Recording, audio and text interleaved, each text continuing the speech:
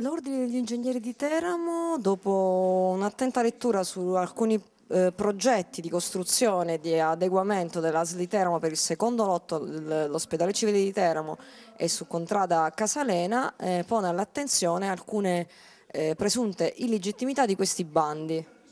Sì, eh, per chiarezza anche l'Ordine degli Architetti partecipa a questa contestazione. Sono tre profili di... Uno, il bando illegittimo per quanto riguarda gli importi messi a base di, di gara di progettazione.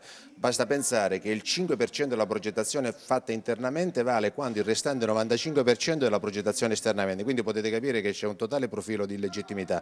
Non c'è la chiarezza negli obiettivi da raggiungere, quindi potete capire a quale tipo di contrasto si va incontro e soprattutto ci sono degli importi delle opere messe a gare che non hanno rispondenza sul mercato, voglio dire sono degli importi che molto probabilmente o l'opera non si fa o forse non si fa secondo i canoni della, della regola, delle opere a regola d'arte. Ecco parliamo di 850 mila euro se non sbaglio. Sì, incontrate Casalena, eh, permettete di aggiungere una, una, un, altro, un, altro, passaggio, noi da circa due mesi abbiamo fatto delle lettere al manager Varrassi e non si è degnato di risponderci e questo ci meraviglia perché stiamo parlando tra enti di, noi siamo un ente di diritto pubblico e in tal senso abbiamo abbiamo dato mandato al legale affinché intervenga per annullare il bando e eh, conseguenze di risarcimento danni.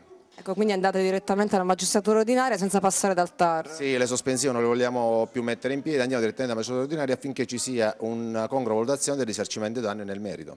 Fate un progetto ma fatelo seriamente, nel senso che ci date le disposizioni perché noi come ingegneri possiamo partecipare a questo progetto. Il problema nostro che sorge è che se si paga un terzo l'effettiva progettazione c'è il rischio che la qualità della progettazione sia anche di un terzo, cioè nel senso che non si riesce a garantire la progettazione.